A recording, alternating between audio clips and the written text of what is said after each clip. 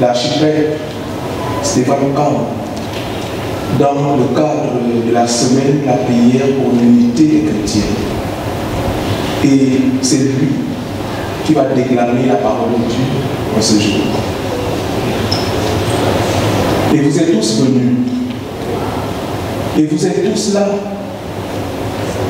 Vous êtes en quête de lumière. La lumière du Christ vous accueille. Qu'elle s'élève en vos cœurs et vous unisse à sa clarté. Amen. Exaltons le Seigneur, le Dieu de l'univers. Louez l'Éternel, invoquez son nom, faites connaître parmi les peuples ses hauts faits. Chantez, chantez en son honneur, parlez de toutes ses merveilles, glorifiez-vous de son saint nom. Que le cœur de ceux qui cherchent l'Éternel se réjouisse. Et à l'Éternel et à son appui. Cherchez continuellement sa face. Souvenez-vous des prodiges qu'il a fait, des miracles et des jugements de sa bouche. L'Éternel est notre Dieu. Ses jugements s'exercent sur toute la terre. Qui respire nous donne l'Éternel. Louez l'Éternel. Bien-aimés, face à Dieu, je vous prie de vous lever pour chanter avec moi pour la gloire de son nom, le cantique 277, à Dieu soit la gloire.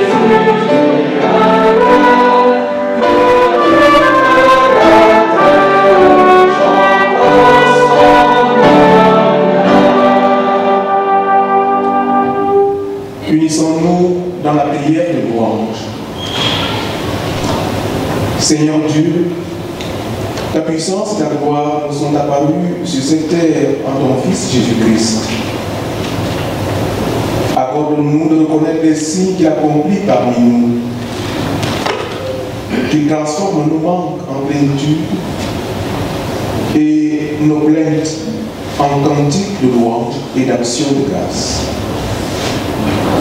Par lui qui vit et avec toi, le Père Dieu Tout-Puissant, et dans l'unité du même Esprit Saint, passe Dieu pour les siècles des siècles. Amen. Je vous prie de reprendre place. Écoutons, bien-aimés de Dieu, de quelle manière le Seigneur veut être servi. L'Éternel parle et dit que le cœur de ceux qui cherchent l'Éternel se réjouisse. Ayez recours à l'Éternel et à son appui. Cherchez continuellement sa face. Seulement voilà, nous n'avons pas su nous approprier cette sainte volonté.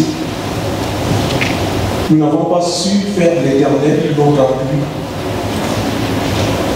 Nous n'avons pas su chercher continuellement sa face. Je nous invite en conséquence à dire notre mal à Dieu. Prière pour son péché. Seigneur, nous n'avons rien déboursé pour les biens les plus précieux, pour l'amour, le pardon et pour la vie. Nous n'avons rien déboursé. Nous sommes hélas tentés de mépriser tout ce qui est gratuit. Comme le contemporain, victime de la magie de l'argent, nous croyons pouvoir acheter la joie, la paix et le bonheur. Voilà égarés bien loin de toi, Seigneur. Fais-nous pourtant voir ta beauté et pour l'amour du Christ, aie pitié de nous. Seigneur, pardonne-nous. Amen. Écoutons maintenant la réponse du Seigneur à notre prière. L'Éternel parle et dit, Réjouissez-vous plutôt et soyez toujours dans la détresse, car je vais créer Jérusalem pour la détresse et son peuple pour la joie. On n'y entendra plus la voix des pleurs ni la voix des cris. Mes élus formeront, une race bénie de l'Éternel. Fondée sur cette parole, d'une être reçue avec assurance et entière confiance à tous ceux qui se répandent et qui croient. J'annonce le pardon de Dieu et j'atteste la rémission de leurs péchés au nom du Père, au nom du Fils, au nom de l'Esprit Saint, dans la vérité et dans l'amour. Amen. Et Jésus dit au paralytique, mon enfant, tes péchés sont pardonnés. Lève-toi, prends ton lit, rentre dans ta maison. Et nous aussi, puisque nos péchés sont pardonnés, levons-nous comme un seul homme pour dire notre reconnaissance pour Dieu notre salut lorsque nous allons chanter le cantique 748, le Seigneur seul est ma lumière.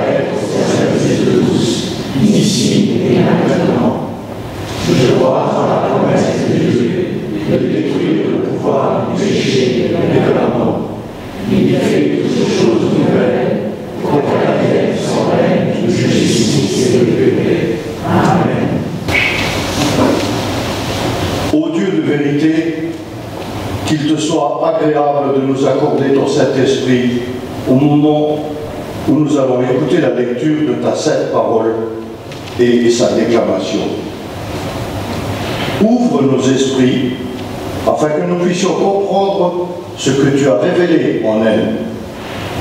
Affranchis-nous de l'emprise de notre propre moi et de la servitude de notre volonté, afin que nous soyons disposés à t'obéir. Ouvre nos lèvres pour que nos bouches annoncent tes louanges. Par Jésus-Christ, la parole faite chair et qui a habité parmi nous.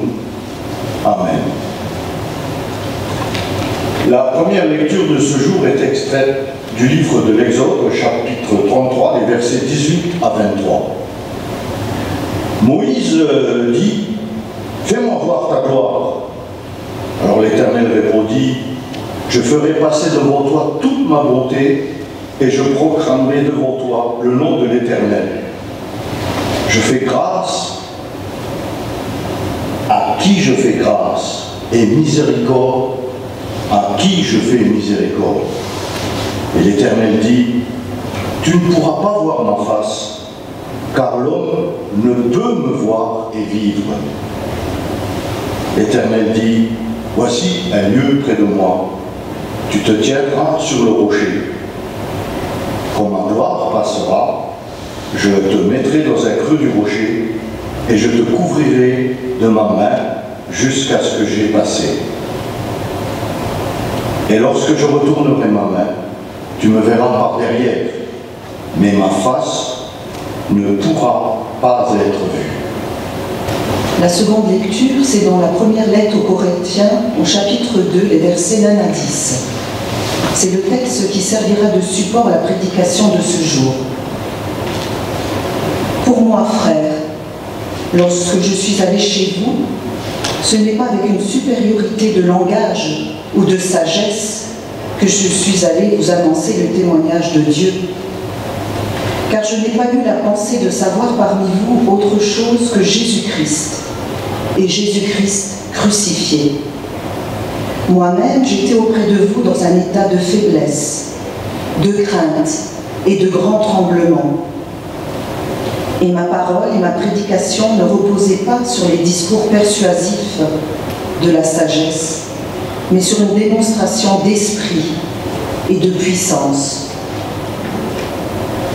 afin que votre foi fût fondée non sur la sagesse des hommes, mais sur la puissance de Dieu. Cependant, c'est une, sagesse que nous prêchons parmi les parfaits, sagesse qui n'est pas de ce siècle, ni des chefs de ce siècle, qui vont être anéantis. Nous prêchons la sagesse de Dieu, mystérieuse et cachée, que Dieu, avant les siècles, avait destinée pour notre gloire sagesse qu'aucun des chefs de ce siècle n'a connue, car s'ils l'eussent connue, ils n'auraient pas crucifié le Seigneur de gloire. Mais comme il est écrit, ce sont des choses que l'œil n'a point vues, que l'oreille n'a point entendues, et qui ne sont point montées au cœur de l'homme, des choses que Dieu a préparées pour ceux qui l'aiment. Dieu nous les a révélées par l'Esprit, car l'Esprit sonde tout, même les profondeurs de Dieu. La troisième lecture se trouve dans l'Évangile de Jean au chapitre 2, les versets 1 à 11. Il y eut des noces à Cana en Galilée. La mère de Jésus était là, et Jésus fut aussi invité aux noces avec ses disciples. Le vin ayant manqué, la mère de Jésus lui dit, ils n'ont plus de vin. Jésus lui répondit, Femme, qu'y a-t-il entre moi et toi? Mon heure n'est pas encore venue. Sa mère dit au serviteur, Faites ce qu'il vous dira. Or, Il y avait là six vases de pierre destinés aux purifications des Juifs et contenant chacun deux ou trois mesures. Jésus leur dit, remplissez d'eau ces vases, et ils les remplirent jusqu'au bord. Puisez maintenant, leur dit-il, et portez-en à l'ordonnateur du repas. Et ils en portèrent. Quand l'ordonnateur du repas eut goûté l'eau changée en vin, ne sachant d'où venait ce vin, tandis que les serviteurs qui avaient puisé l'eau le savaient bien, il appela l'époux et lui dit, Tout homme sert d'abord le bon vin, puis le moins bon après qu'on s'est enivré. Toi, tu as gardé le bon vin jusqu'à présent.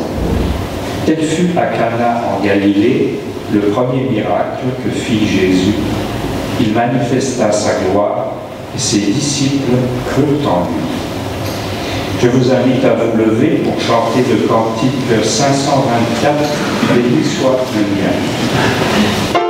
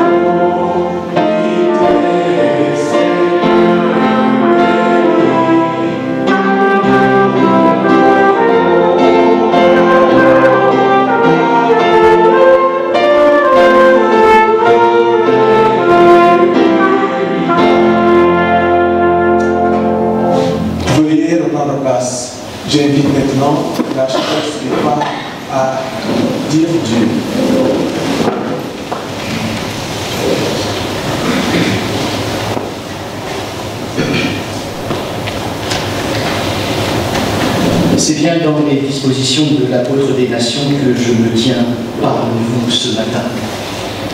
Bien conscient de ma pauvreté, craintif et tout tremblant, que j'ose commenter cette parole, cette parole pardon, qui me dépasse et qui me transcende. Puisse être la sagesse même de Dieu qui agisse en chacun de nous ce matin. Elle nous aide à garder nos intelligences, nos cœurs et notre désir d'amitié orientés dans la seule recherche qui soit vraiment utile, Jésus-Christ. Laissons l'Esprit agir en nous, qu'il sonde nos intentions et nos profondeurs et nous conduise à la vérité tout entière. Cette expérience que Saint Paul vit dans sa chair soit aussi la nôtre. C'est, il est vrai, quand nous sommes en capacité de reconnaître, d'identifier nos pauvretés et nos faiblesses, et de les vivre avec courage et espérance, que nous laissons toute la place à la grâce de Dieu pour agir en nous et faire toutes choses nouvelles. Non pas que sa grâce fasse de nous des marionnettes, mais elle vient au secours de nos timidités, de nos orgueils, de nos jalousies, et oriente nos intentions vers la sainteté à laquelle chacun, chacune, nous sommes appelés et attendus. C'est donc bien tout tremblant, craintif et conscient de ce que je suis que je vous parle et que je réponds à l'invitation qui m'a été faite, que de mon cœur s'élève une prière d'abandon. Seigneur des Seigneurs, ô Dieu de la vie, toi qui agis au cœur de ta création pour la renouveler, reçois ma personne tout entière. Oh, habite mes intentions, oriente mon cœur. Fais de moi ton instrument de paix et d'unité, et donne-nous de vivre dans la confiance qu'en ton Fils, nous sommes des enfants bien-aimés, en qui tu mets toute ta joie. Amen. Bien avant l'expérience de Saint Paul, dans laquelle notre être chrétien puise ses racines, il y a l'expérience du peuple d'Israël, le peuple à qui Dieu a parlé en premier. Il est le peuple du passage par excellence. Rangé tout entier derrière Moïse, le peuple désire voir la gloire de Dieu. Nous l'avons entendu dans l'extrait du livre de l'Exode. Moïse et le peuple a besoin de savoir s'il est bien ce peuple qui a trouvé grâce aux yeux d'Éternel. Pour lui, pour son peuple, Dieu est prêt à tout, au risque de se livrer à l'humanité. Tout comme Saint Paul, chrétien, nous reconnaissons dans le visage du Christ Jésus ce que Dieu est tout à fait en capacité de vivre pour nous et pour que nous puissions le reconnaître ensemble comme agissant au cœur de la création. Un voile pourtant semble pour toujours se tenir entre lui et nous. Impossible de le voir face à face sans mourir, nous dit le livre de l'Exode. Ce voile est celui de la chasteté même de Dieu. Jamais nous ne serons obligés de croire en lui, jamais nous ne serons obligés de l'aimer. Cette délicatesse de Dieu, car il s'agit bien de délicatesse, elle nous assure un amour vrai d'une part et une relation chaste d'autre part. Il assure à Moïse cet amour et cette chasteté, il l'assure aussi pour chacun et chacune d'entre nous. Peut-être croyons-nous que Dieu ne veut pas se montrer et ne se laisse voir que de dos, alors que cette attitude marque une infinie tendresse de sa part. Le voir serait pour nous une révélation qui ne nous laisserait aucune possibilité de lui répondre par nous-mêmes, de lui dire notre amour et notre confiance par nous-mêmes. Sa distance n'est pas celle du mépris, ni même de la facétie, mais celle qui nous assure une liberté et une responsabilité dans notre acte de foi. Nous restons ce que nous sommes. Dieu n'a même pas l'idée de faire les choses sans nous, ni contre nous. Pourtant, réfléchissons un peu et replongeons-nous dans la parole de Dieu, parce que ce Dieu que nous cherchons se donne à voir et se laisse reconnaître. En regardant le Christ, nous regardons le Père. Qui me voit, voit le Père, dit Saint Jean. Et qui fait la volonté du Fils, fait la volonté du Père, car ils sont un, poursuit Saint Jean. Et l'invitation est lancée, nous sommes appelés à entrer dans leur unité. C'est d'ailleurs de leur unité que découle notre unité et celle que nous cherchons ensemble. N'est-ce pas Saint Jean à nouveau qui nous indique que c'est à la manière que nous vivrons notre foi, que nous vivrons notre foi entre nous, que l'on nous reconnaîtra comme ses amis et comme ses disciples. Ayons à cœur de nous attacher au Christ Jésus, de vivre dans sa proximité, de faire de ses commandements notre vie. Au-delà de nos histoires, de nos divergences et de nos rites, nous serons alors reconnus comme des frères et des sœurs qui cherchent l'amour du Père, révélé en Jésus-Christ. Justement, que voyons-nous de Jésus-Christ aujourd'hui à travers les textes de la parole de Dieu? Il est présenté à nous comme un invité aux noces. Il est invité à des noces. Certes, il s'agit d'un mariage d'un homme et d'une femme, mais ces noces-là ne sont-elles pas l'image des noces de cette alliance scellée par Dieu avec l'humanité? Ces noces que Dieu n'a eu de cesse à travers l'histoire sainte de renouveler, de colmater, de réparer et de revivre. Ces noces qui ont souffert de l'infidélité humaine, de la prostitution humaine pour euh, un certain nombre de divinités. Ces noces, cette alliance pour laquelle Dieu nous a conduits au désert pour nous épouser à nouveau, comme dit le prophète Osée. Les noces pour lesquelles Jésus-Christ a donné sa vie pour que nous ayons la vie en abondance, celle que nous célébrons dimanche après dimanche. C'est bien à cette alliance-là que le Christ est invité. Avons-nous à cœur de l'inviter justement? Avons-nous le désir de sa présence? Voulons-nous le voir et le reconnaître au milieu de nous? Notre histoire commune et individuelle est un long désir de Dieu de nous avoir proches de lui. Comme le père de la parabole qui ne quitte plus de ses yeux l'horizon dans l'espérance de voir son fils réapparaître. Comme le père de la parabole qui fait tuer le veau gras, qui passe l'anneau au doigt de son enfant revenu et qui fait donner le banquet de la joie dans sa propre maison. Les noces de Cana sont les noces qui unissent Dieu à l'humanité.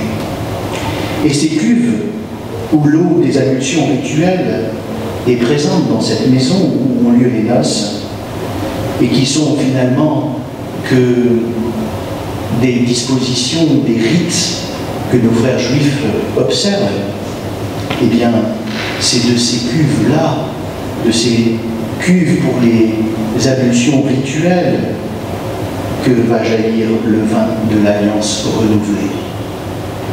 Ayons à cœur de lire l'évangile des noces de Cana dans la conscience qu'elles sont l'image des épousailles qui lient le Créateur à sa création, le Père à ses enfants.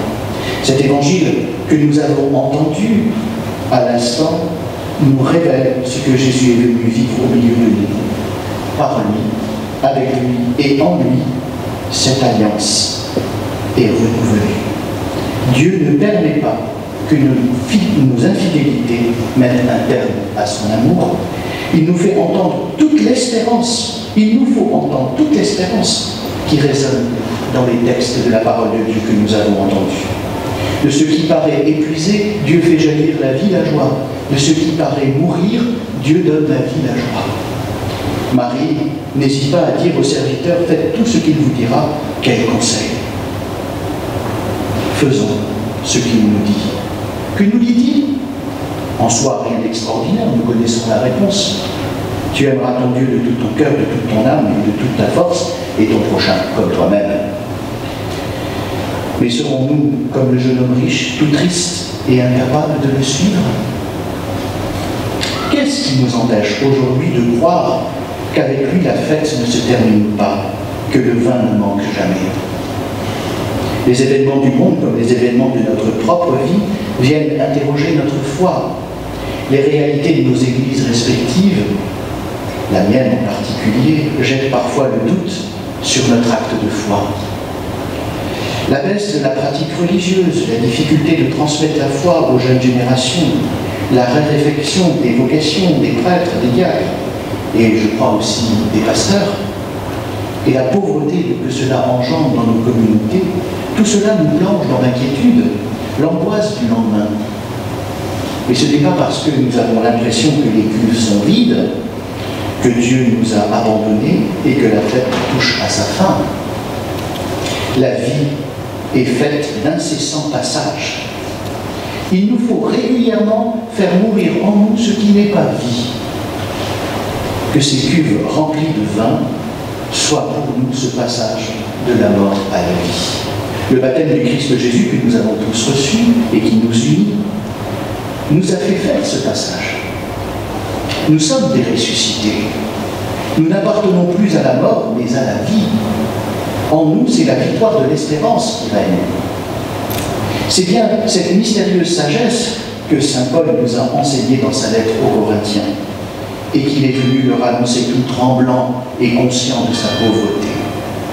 Mes amis, la, la parole de Dieu de ce jour qu'elle soit de l'Ancien Testament ou du Nouveau Testament, est pour nous un appel à la confiance et à l'espérance. Dieu ne nous abandonne pas. Il fait mourir en nous le péché, notre péché, nos infidélités, nos jugements et nos orgueils. La vie, sa vie, nous est donnée en héritage. À nous, pour prendre une autre image de l'évangile que vous connaissez, ne soyons pas de vieilles outres pour un vin nouveau. Amen.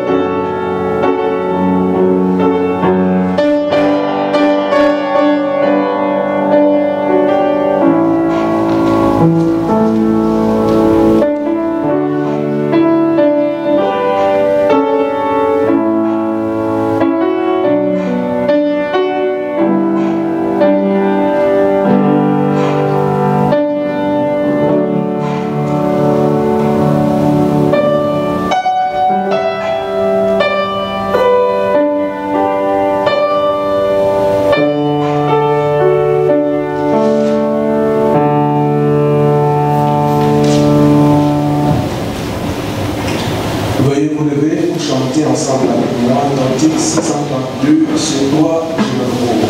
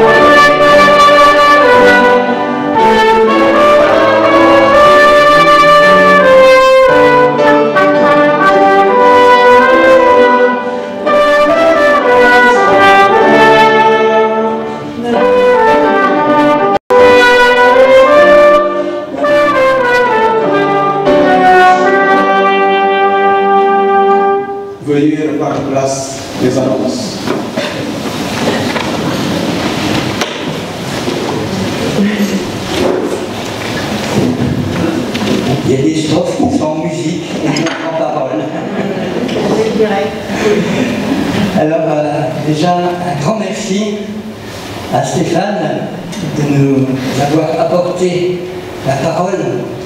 Merci à, vous tous qui êtes venus en nombre et qui, avez abandonné votre euh, habitude pour venir non pas à 10h à Saint-Maximin, mais à 10h30 ici. Et euh, je sais qu'il y en a qui ont eu un petit peu froid là, en attendant dehors, et, euh, parce qu'ils sont venus à 10h justement. Alors merci à vous d'être, de vous être déplacés. C'est vrai que la semaine de prière pour l'unité des chrétiens, c'est quelque chose qui me semble toujours important. Et euh, j'allais dire, sans vouloir faire trop d'humour, mais c'est une piqûre de rappel, on en a beaucoup en ce moment, qui euh, nous dit la nécessité euh, d'être unis malgré ou grâce à nos différences. Si nous voulons apporter le message de libération que Dieu veut donner à tout homme sur cette terre, et à toute femme bien sûr, ce, que Dieu veut nous donner, c'est ce qu'on nous pouvons lire dans Jean 3, euh, 16. Dieu a tellement aimé le monde qu'il a donné son Fils unique afin que quiconque croit en lui ne périsse pas, mais qu'il ait la vie éternelle. Et c'est ce message que nous avons tous ensemble, chacun à notre endroit, mais avec cette union d'esprit que nous avons annoncé à tous ces gens qui sont à l'extérieur et qui n'ont encore pas compris qu'ils sont aimés de Dieu. Alors, euh, nous voulons vraiment euh, fêter ce moment de, euh, de pouvoir prier ensemble pour cela. Et il y a encore beaucoup de travail, il y a beaucoup de pain sur la planche pour que nous puissions y arriver. Alors Alexis rendra le 30 janvier, se rendra donc à Saint-Maximin pour participer à la messe. Et euh, c'est à 10h À 11h. À 11h. C'est bien grave. à 11h, donc euh, le 30, euh, pour justement euh, partager aussi le méli.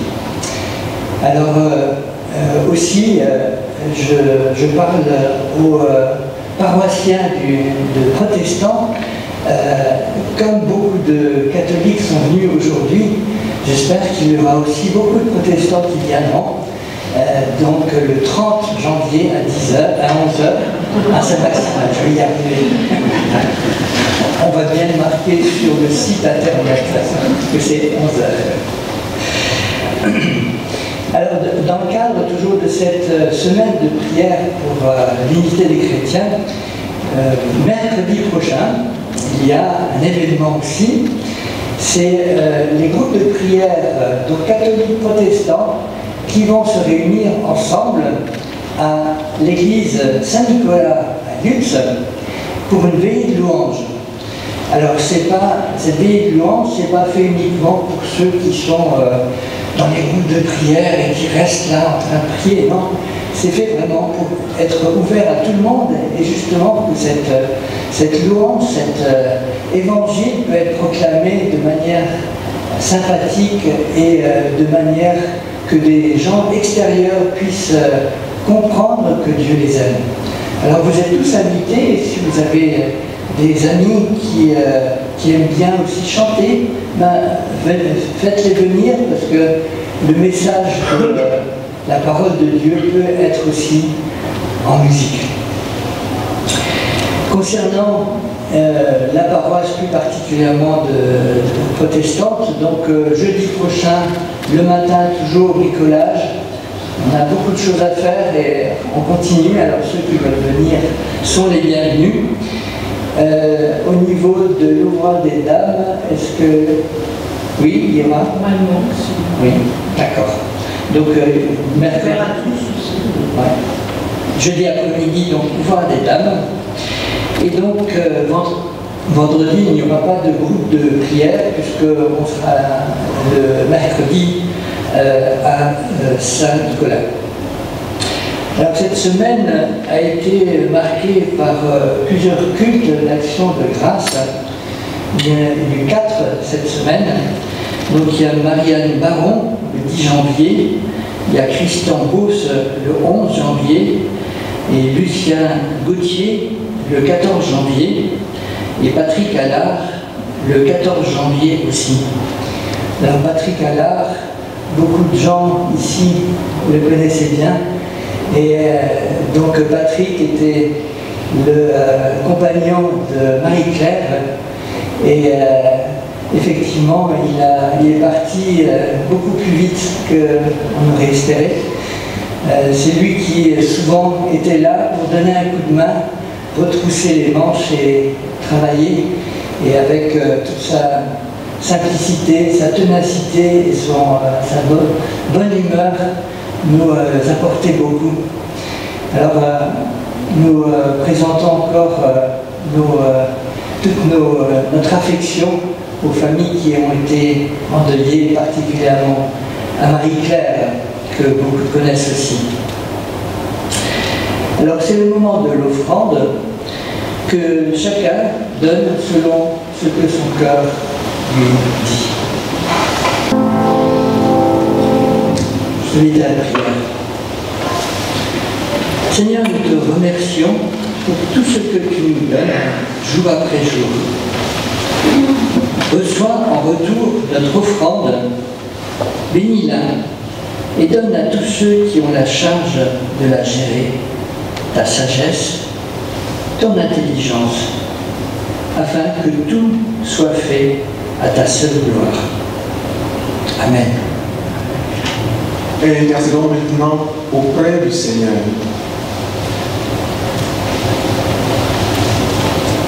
Seigneur Jésus, tu as dit je suis la lumière du monde. Celui qui marche ensuite ne marchera pas dans les ténèbres.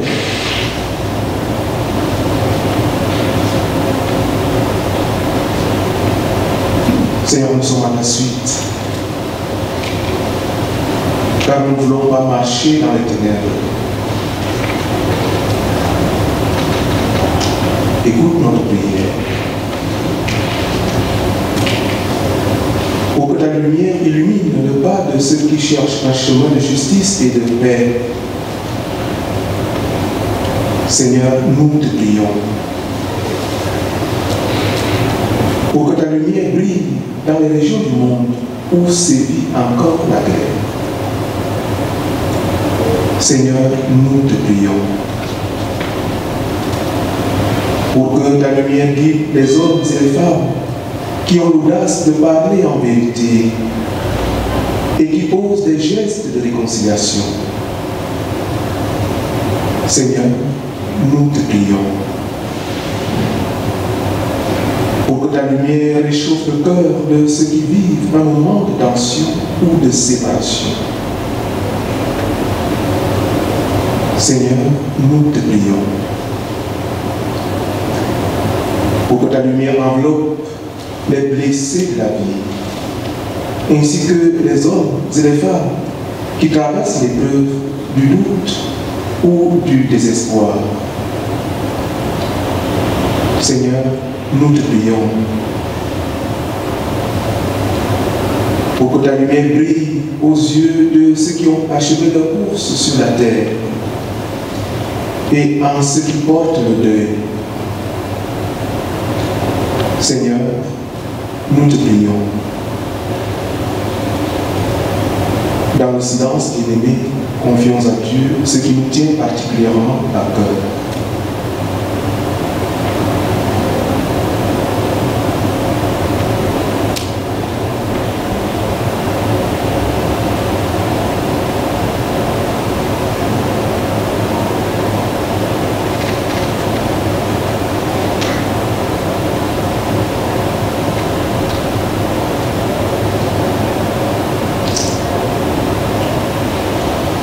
Seigneur Jésus, accorde-nous de marcher dans ta lumière.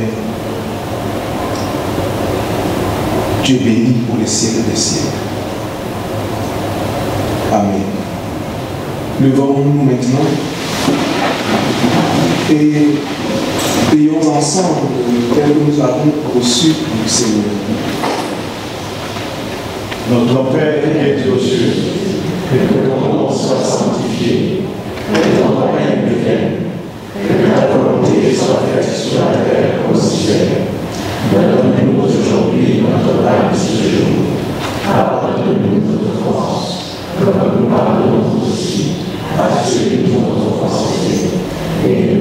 Dans la tentation, mais délivre-nous du mal. Car c'est à toi la grâce le règne, la puissance et la gloire, aux siècles des siècles. Amen. Recevez maintenant la bénédiction de la part de notre Dieu. Que la bénédiction et la miséricorde du Seigneur, par sa grâce et son amour éternel, descendent sur vous maintenant. Il vous bénit, celui qui est le Père, le Fils et le Saint-Esprit, dans l'unité du même Dieu. Partez maintenant. Vous êtes aimés de Dieu. Vous êtes bénis de Dieu. Amen. Et chantons pour terminer le cantique du recueil Règne en moi.